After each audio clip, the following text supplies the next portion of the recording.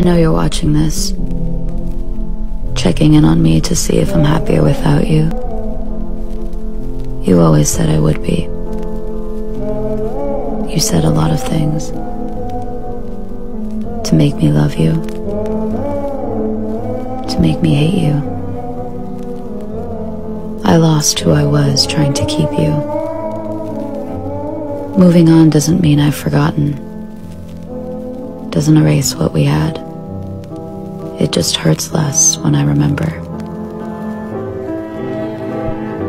But yeah, I am happier. And ironically, that kinda makes me sad.